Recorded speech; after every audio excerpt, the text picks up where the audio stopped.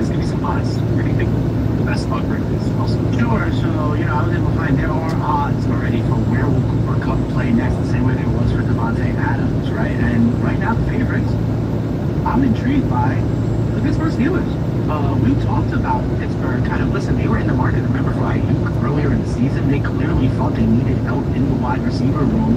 And the reason that makes some sense to me, not only is that we know that they were in market, is that is a different kind of wide receiver than George Pickens is, Yeah, I right? was George gonna say, Pickens is a taller outside Thank you, guy. channel who members on our channel. running in the middle of the Each field. one of We them, all the logos that will show Tomlin up went to on- Russell right your Wilson name. for the idea of maybe kind of improving Pretty the cool. passing game and Oh, I don't cool. why how that would. So as of now, I see the Steelers as the favorite. gotta have a big Chargers next at four to one. Huh? Tampa Bay after that at six to one, which is interesting. Obviously, oh, yeah. what can you imagine if like you, who all of a sudden blew the fab on a guy like McMillan, and then all of a sudden Cooper Kupp is there in the slot that changes it.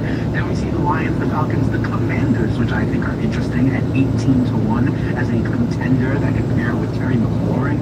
Um, then Bills, Saints, Chiefs, Ravens, Cowboys, who we've talked about in the market before, 33 to 1, along with the San Francisco 49ers, who have had injuries at the wide receiver position. You throw Cooper Kupp, although that is in division. So that's kind of where it um, at least right now. But I just think, like, this is trading season. And so when you go ahead and try to get a Cedric Tillman or Jauan Jennings or a McMillan, right, like, not so fast because the kind of the, uh, the, the tide is turning in certain places, right? And so with this move, listen, people a couple of weeks ago were all about Juju, right? And now this is hampered, you know, because of the arrival of DeAndre Hopkins. We talked about him. Oh, seven mic now. Come on, right. Let's get it. Let's get it. All right, let's get it. Right. So, look, we need- So, we need seven to come on here there's and, like- moving shaking going on, so we are in flux Say at the eight wide on here. position, and that's kind of my overall point here, Chris. Like, we're in flux, so if you're making trades, if you're spending money on fab and stuff like that, like the idea of the usage rates are uh, may not be what they see today's prices, not tomorrow's price. Yeah, it's a good I love these guys changing jerseys no matter what the sport is. I'm all, I'm all about it. We're gonna have to have a, a trade, a couple trade segments moving forward on this show, like how to trade and also taking a look at the playoff fantasy football playoff schedule and some finals so high. So uh, keep her locked. We're definitely gonna do that. Try to get that done maybe this Friday and take a look at some of those matchups uh, and help some people out. But you know those those teams there, I think the teams that make the most sense are like Pittsburgh Steelers, right? They're so close. Their defense is so good. They rattle out five wins. They made the quarterback change. They've set the most points in a football game at 37 since 2021. And the, think about the struggles they've had offensively since Big Ben left. So, although I mean, probably take a slight hit if he went to a team like Pittsburgh Steelers and a run for his team away from Matthew Stafford.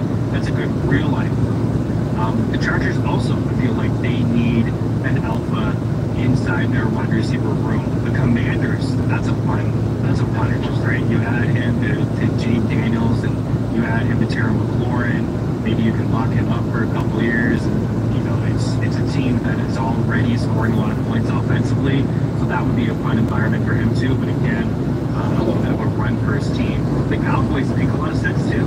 Like, what is Dallas doing? Yeah, they're just gonna I, I don't trust I don't trust them either. I mean, the management is, is crazy. You hear what Jerry Jones said yesterday about Derrick Like I Henry? said, make sure you guys go check the box that says notify subscribers Derrick or Henry's doing the same thing Derrick Henry has Because always done. If they He's don't on click on it, for- it buries the video. All right, we'll do, we'll do, RM. What do you have to do? In settings, there's a box uh, when you, when you do lives, and it said, do you want to notify subscribers when you do the live? You do. Just uncheck it. If you don't uh, uncheck it, it'll bury the video if they don't click on it. Oh, okay. Thank you very much for that info, RM. Right, that's important information. Yeah.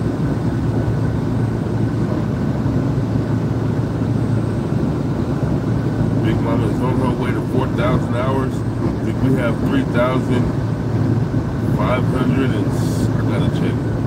But we're close, guys. We need all the likes we can get, all the people we can get on here.